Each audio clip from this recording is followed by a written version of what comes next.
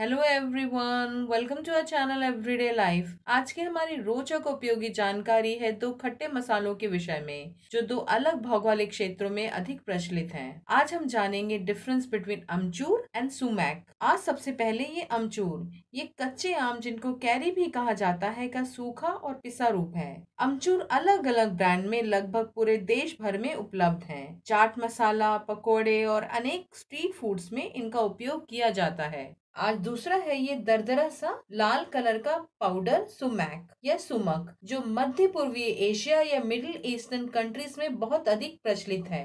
ये रस कोरिएरिया नामक छोटे पेड़ की बेरियों जैसे फलों का सूखा और पिसा रूप है। आज इस सुमैक का उपयोग मिडिल ईस्टर्न और मेडिटेरेनियन देशों में हो रहा है। वहाँ ये सलाद की ड्रेसिंग और मांसाहार को मैरिनेट करने में अधिक उपयोग होता है। यहाँ पर ये डिपार्टमेंटल स्टोर और ऑनलाइन स्टोर्स में आसानी से उपलब्ध है और इसके 50 ग्राम का मूल्य डेढ़ सौ रूपए ऐसी शुरू हो जाता है।